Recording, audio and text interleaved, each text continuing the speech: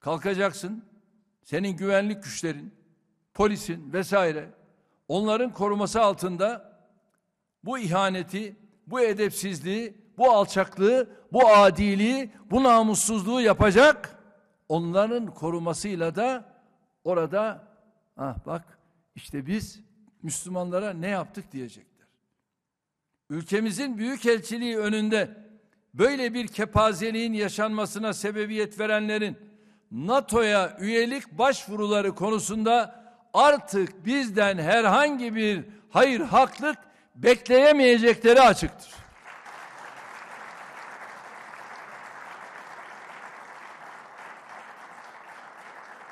Kusura bakmasınlar. Başta söyledik. Terör örgütlerine caddelerinizde, sokaklarınızda, her yerde cirit attıracaksınız. Ondan sonra da bizden NATO'ya girme konusunda destek bekleyeceksiniz. Yok böyle bir şey. Böyle bir desteği bizden beklemeyin.